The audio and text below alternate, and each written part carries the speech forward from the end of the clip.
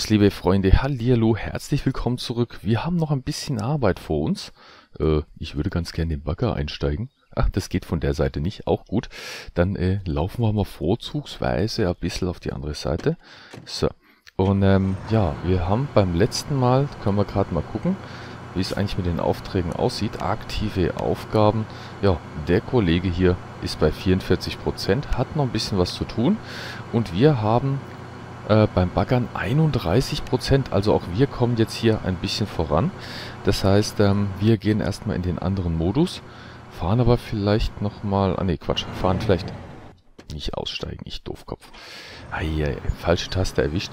Ähm, wir fahren erstmal ein Stückchen hier rüber.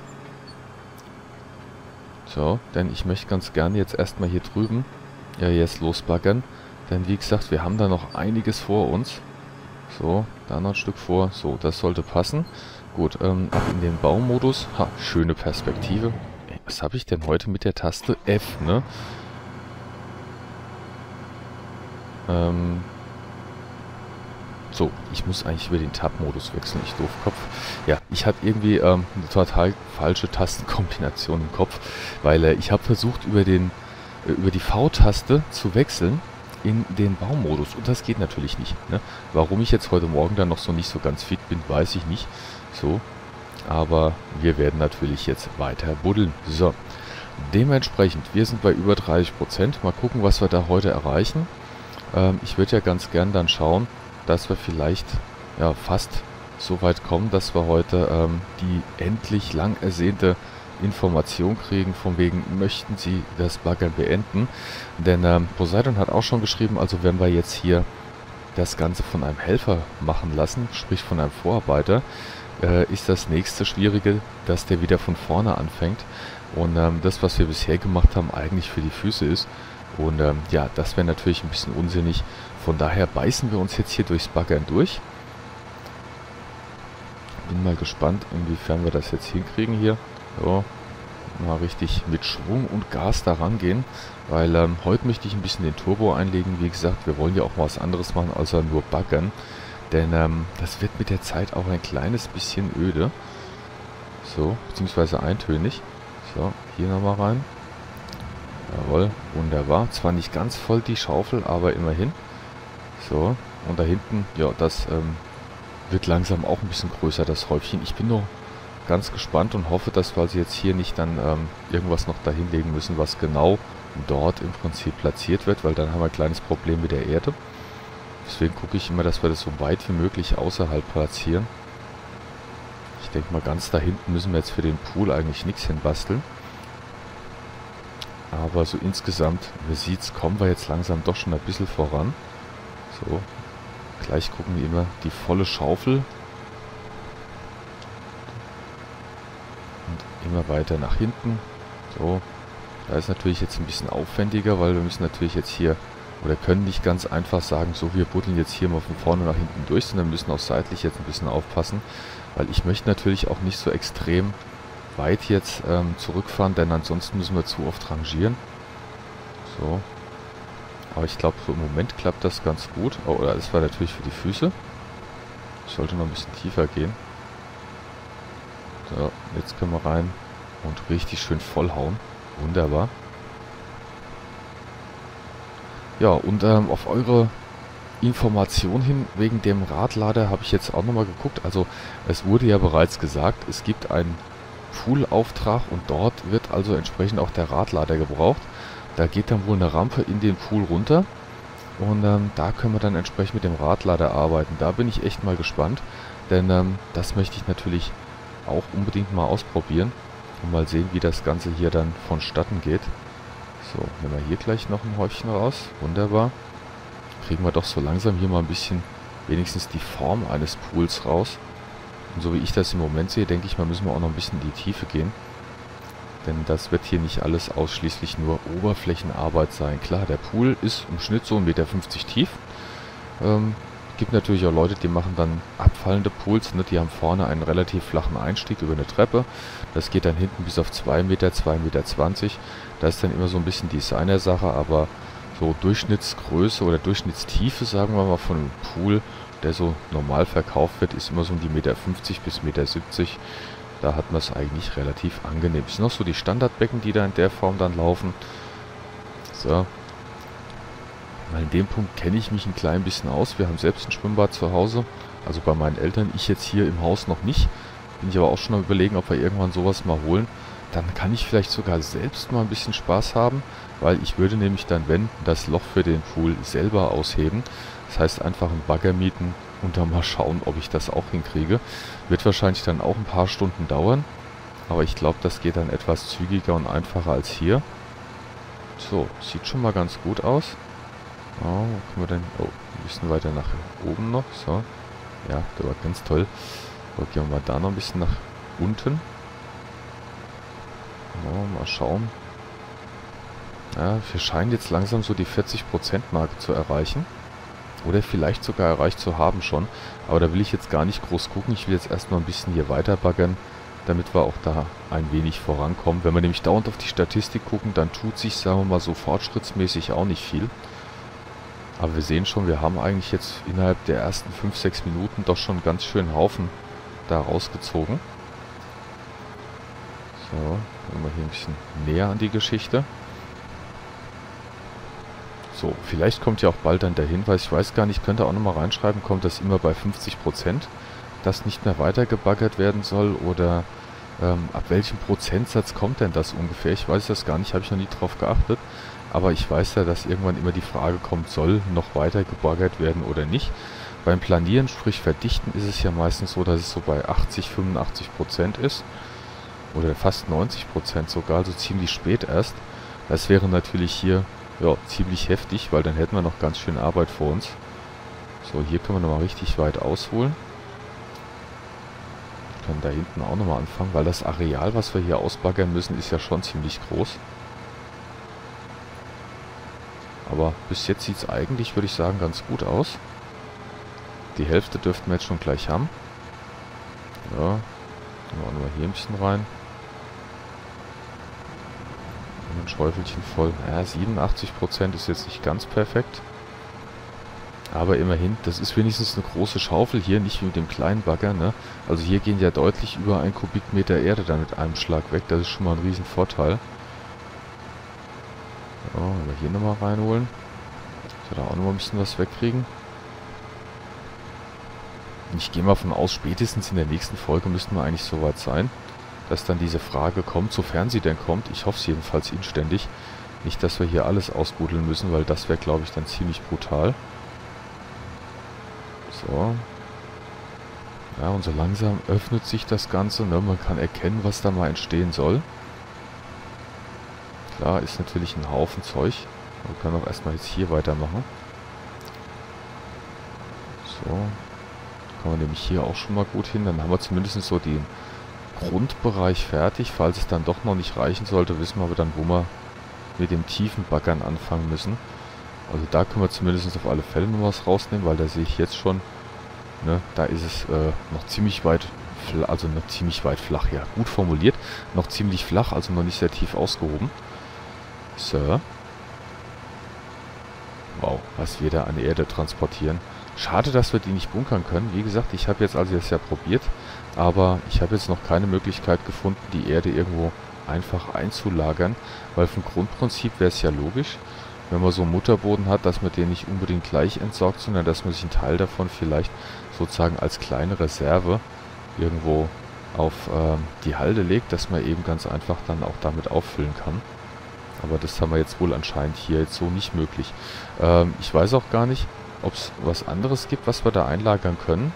Oder ob wir uns da sozusagen nur Vorräte jetzt vom Kieswerk hinstellen können. Das wäre aber auch ein bisschen blöd. Äh, ja. So, uh, ein bisschen falsch gefahren. So, jetzt haben wir es. Die 50% sind voll.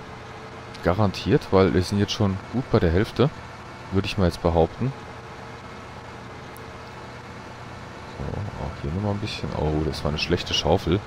Nur 79%, das ist nicht gut. Das ist gar nicht gut. So, dann gucken wir jetzt mal, nachdem wir den Rand ja soweit auch schon gut angesetzt haben, dass wir vielleicht hier in der Mitte, wo es noch extrem hoch ist, dass wir da noch ein bisschen rangehen. Hier noch ein bisschen reinschaufeln. So, ja, das sieht gut aus. Mann, Mann, Mann. Ich bete eigentlich schon mit jedem ja, Entleeren oder mit jedem Aushub hier, dass wir dann den Punkt erreichen, wo es dann heißt, möchten Sie weiter baggern, weil ehrlich gesagt, ich möchte euch was anderes zeigen auch. Wir wollen ja auch in den Aufträgen weiterkommen und jetzt hier nicht 24 Folgen nur buddeln. Ist natürlich dann schon ein bisschen doof. Aber ich bin froh, dass ihr so viel Geduld habt. Da auch nochmal vielen Dank. Ja, habe auch gemerkt, die Abonnentenzahlen steigen weiter. Also von dem Punkt, ja, ähm, könnt ihr euch auch bald wieder auf neue Sachen freuen. Wir sind jetzt hier mit dem Renovieren auch schon ein bisschen weitergekommen. Ich kann wahrscheinlich sogar äh, das ein oder andere jetzt noch beibehalten. Werde aber mal schauen, dass ich wahrscheinlich den Sendeplan erstmal grundsätzlich so lasse, weil das bietet mir nämlich die Möglichkeit, auch ein paar Sachen, die jetzt schon ziemlich lange in der Warteschleife hängen, auch mal wieder zu präsentieren. Und äh, der MacBuraco hat es auch schon geschrieben, äh, beziehungsweise gesagt mir mal, es ist nicht immer so einfach, dann die Release-Zeiten einzuhalten, dass als jeden Tag das Video online kommt. Ups, vor allem, wenn er noch so komisch fährt hier. Ähm, und dann lieber eins, zwei Videos weniger in Anführungszeichen, aber dafür dann auch alles, was ich versprochen habe, eingehalten. Denn äh, ich habe auch keine Lust, hier irgendwas auf Hektik zu machen, denn ähm, ja, ihr wollt ja auch ein bisschen Spaß dabei haben und nicht einfach nur hier sehen, wie das Ganze vor die Hunde geht so langsam, ne? So, apropos, es tut sich immer noch nichts. Wir sind jetzt 50% müssten wir eigentlich jetzt echt schon haben. Ich habe das glaube ich jetzt schon zweimal gesagt, aber so, mal hier reinbuddeln. Der Fortschrittsbalken ist zumindest deutlich weiter als das, was wir in den letzten Folgen so gesehen haben. Das ist schon mal gut. So, und jetzt glaube ich, können wir dann sogar ein bisschen mal in die Tiefe gehen. Das heißt, ich werde mal gucken, wie weit wir dahinter kommen. Ob das schon reicht. Jawohl, da kann ich da nämlich auch nochmal schön ausheben. So. Denn ich denke mal, die Tiefe spielt auch eine Rolle. Der McVorago hat ja schon mal gesagt, ähm, ja, es ist dann auch so ein bisschen eine Verformung drin hier. Also von der Verfärbung, nicht Verformung. So, jetzt komme ich hier nicht weiter. Oh, irgendwo hängt es gerade. Ähm, nicht gut. Ich hänge gerade fest, das ist jetzt ganz schlecht. Ich versuche hier gerade krampfhaft ähm, das Ganze zu lösen, aber irgendwie hänge ich gerade total fest. Schaufel befindet sich in der Erde. Ja, die würde ich ganz gerne rauskriegen. Jetzt klappe ich die mal ganz ein, aber selbst damit hängt's. Ähm, ja, das ist jetzt doof. Das ist wohl jetzt so eine Position, die sehr, sehr ungünstig ist hier.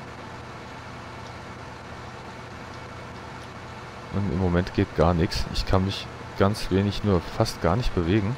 Egal welche Taste ich drücke. Es tut sich nichts. Doch, da ruckelt es mal kurz, aber... Eieiei. Ich komme hier nicht mehr raus. Ich hänge gerade übel fest. Och nee, Leute, das ist doch jetzt hier gemein. Ich kann mich bewegen, wie ich will, aber es tut sich gar nichts. Ich versuche hier gerade wild auf den Tasten rumzuorgeln. Also das klappt leider jetzt gar nicht. Ich komme hier nicht mehr raus. Da müssen wir leider eins machen. Ich muss das Ding mal resetten. So. Hat nämlich den Vorteil, ähm, man kann das hier gleich resetten. Halt. Ja, schnell raus. Ja, das habe ich gar nicht gesehen, dass die Schaufel noch voll war. Das war blöd. Ähm, aber damit kann man also mit der Backspace-Taste auf alle Fälle das Ganze wieder in Ordnung bringen. Falls man sich da mal etwas ungünstig da drin verhaspelt, so wie ich jetzt eben.